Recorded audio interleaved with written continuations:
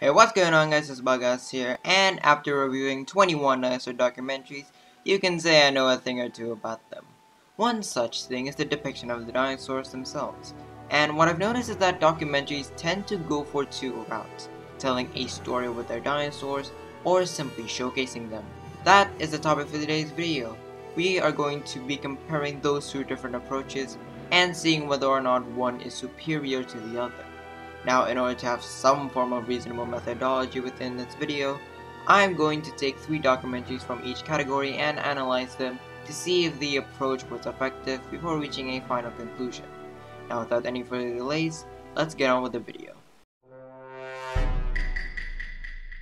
The first documentary I'm going to be looking at for the story approach is Ballad of Big Al. To refresh your memory, Ballad of Big Al tells the story of a beautifully preserved Allosaurus nicknamed Big Al from the day he was born to the day he died. Now obviously the story approach works best here because it's essentially a biography of Al's life. But to go deeper, there are many small stories within this big narrative that is the life of Big Al. Throughout the episode, we see that as Al grows up, he encounters new experiences, and there's always a constant sense of progression within Al's life. A lot of them being subtle ones that make the show feel great beyond the surface level.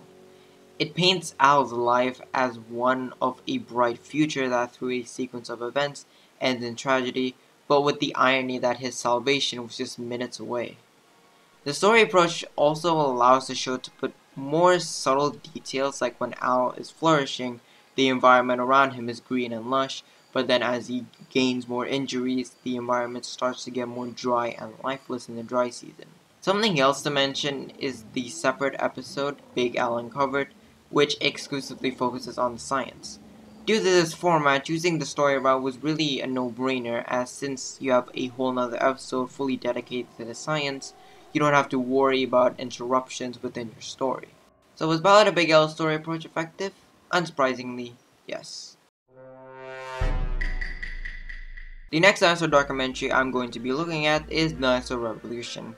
Now, Dinosaur Revolution is an interesting case, as arguably you can say it's a combination of both story and showcase. But since it predominantly uses a story approach, I'm popping it in here.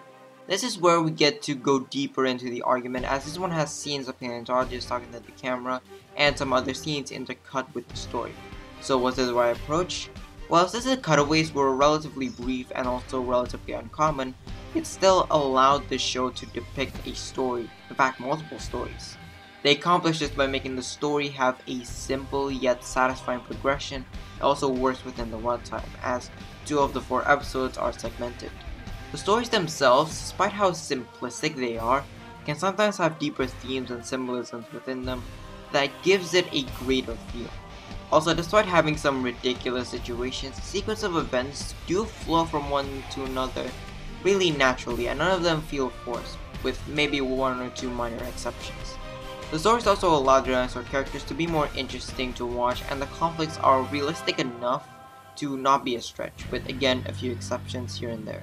So despite having to fit within a overall shorter duration period, it still succeeded at depicting interesting stories that while are simplistic, have deep themes and symbolisms with satisfying resolutions. The final documentary for the story approach is Sea Monsters A Prehistoric Adventure. Much like Ballad of Big Al, it shows the life of an individual animal, in this case Dolly, from her birth to her death. What differentiates it is its ability to create beauty and simplicity. The story is basically Dolly growing up and going on an adventure in the Cretaceous Sea before going back to the place she was born, raising several offspring before dying. This example also shows the poetic capability of the dinosaur documentary genre as throughout her life her family all had brutal deaths by predators, yet she dies peacefully of natural causes, as if to say after everything she's been through, all the hardships and tragedies within her life, she deserves a peaceful and tranquil end, free of any violence.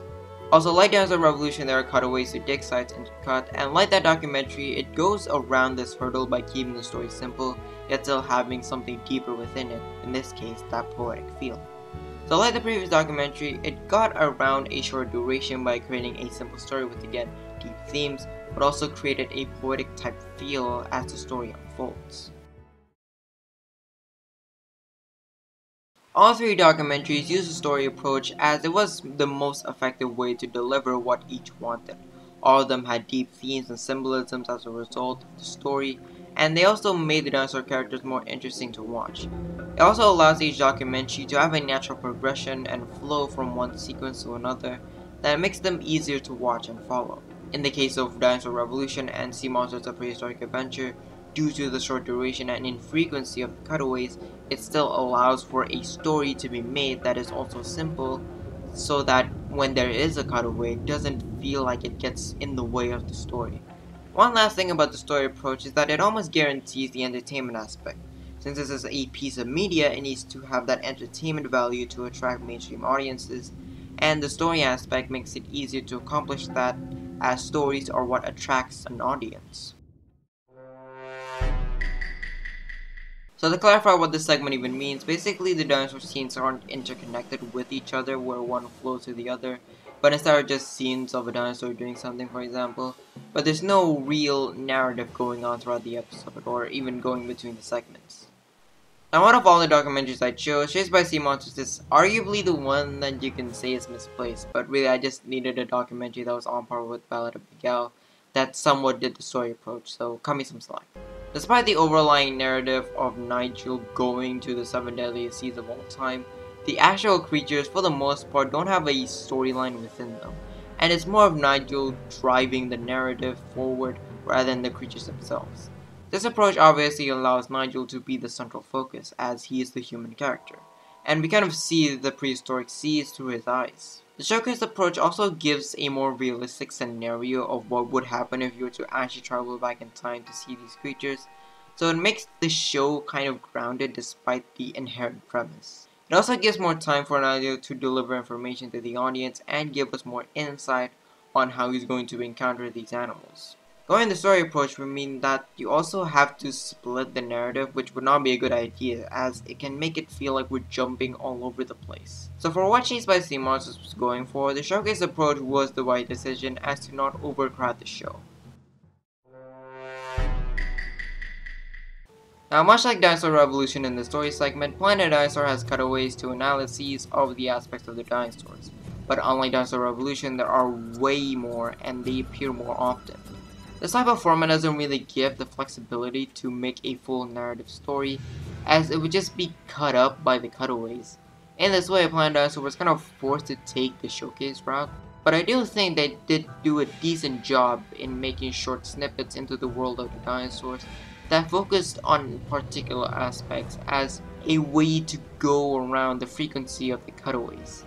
It also allowed the documentary to have a much stronger science aspect to it, and while I said in my review that there could be a better way of doing it, the fact that it wanted to focus a lot more attention on the science means that one way or another they were gonna have to compromise on the story. Also, each scene still feels somewhat connected because there is a central theme within each episode that helps bridge the gap between seemingly disconnected scenes. So while Planet Dinosaur technically was kind of forced to choose the showcase route, it did a decent job with what it had, and it did allow for a stronger science element within the documentary. The final documentary I want to talk about is Sea-Rex. Like Planet Dinosaur, Sea-Rex wanted to show more of the science, but also like Chased by Sea Monsters, had this overlying narrative of the history of the Mesozoic oceans. This combined with the short 40 minute runtime meant that the documentary had to cram a lot of information, and thus the best way was to go for the showcase route.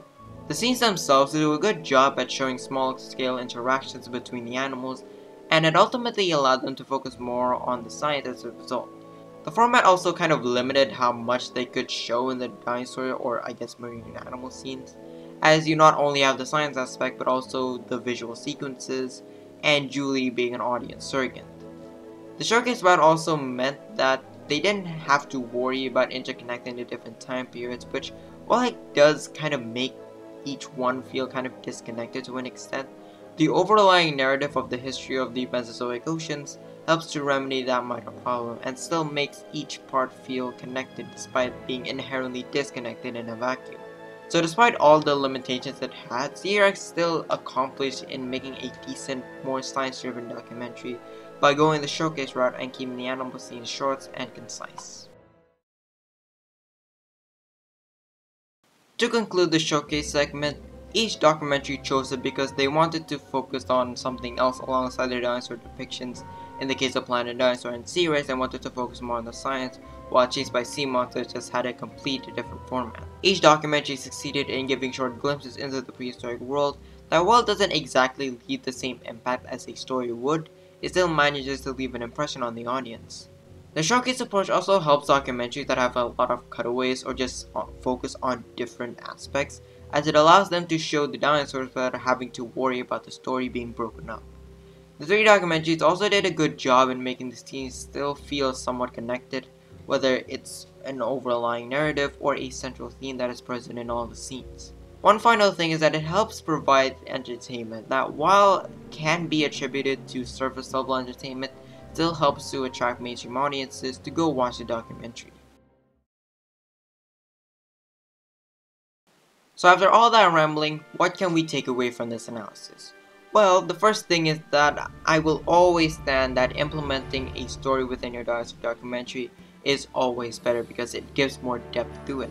But I will acknowledge that if you want to put a stronger emphasis on the science or you just have a completely different format, then the showcase route will allow you to do all those things while still having the scenes of the dinosaurs. At the end of the day, like most things in life, it depends on the situation and there are pros and cons with each one and it again depends on what you're trying to go for and what you want to show within your dinosaur documentary. And really no choice is superior to the other and just comes down to personal preference on which one you prefer and which one you perceive to be better. Hope you enjoyed the video. If you did, be sure to leave a like and subscribe. Um, first of all, I was completely, like, okay, how should I word this? Well, well, while writing the script for this, I was kind of unsure how to properly format this video, whether I should do a head-to-head -head comparison, which, by the way, I think is a good video idea that I might consider doing in the future, or, you know, like the one that it ended up being. So, yeah, it was kind of, it was, it's kind of weird to write this, because I didn't really know what direction I wanted to go in, but this is the direction I chose. But the, the other thing I want to talk about is that this video is kind of also a setup for the Wednesday video that will come out in two weeks. Which I will not spoil, but it's kind of, you know, a sort of background check. I don't know what you would describe it as. Um, you'll see when that video comes out in the next two weeks, but, um, yeah, it's kind of an off day for me too. Actually, well, yesterday was an off day. I'm recording this on Monday morning, actually. But, um, yeah, anyways, enough of that. Um, I'll see you in the next video. Bye.